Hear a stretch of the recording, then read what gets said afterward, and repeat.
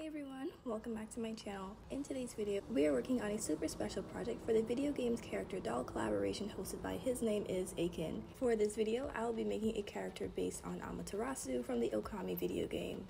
Unfortunately, I am not currently in my main studio and I was unable to fully record the voiceover for this video before the deadline, so I do apologize for that. I will try my best to caption all of the videos so that you can see what's going on. Please be sure to check out all my other friends' videos for this doll collaboration. I will have their profiles linked in the description box below as well as on my Instagram. I hope you enjoy the video. Let's get started.